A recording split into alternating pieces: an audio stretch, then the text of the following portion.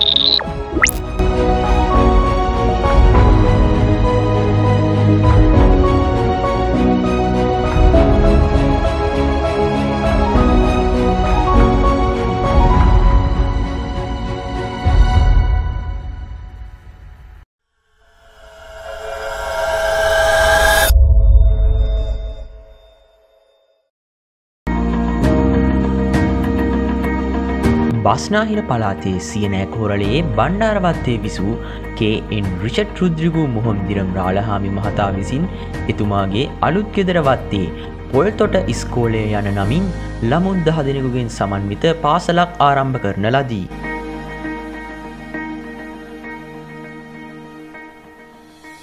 එසේ තැබූ ප්‍රථම පියවරෙහි තවත් පියවරක් ඉදිරියට තවමින් වර්ෂ එක්දහස් නමසේ විසි නමේදී කුරුදු කැලේ නමින් හඳුන්වන මෙම ස්ථානයට ඒප්‍රියල් විජය වික්‍රමරාලහාමි මහතාගේ මූලිකත්වයෙන් අප පාසල ගෙන එනලදී.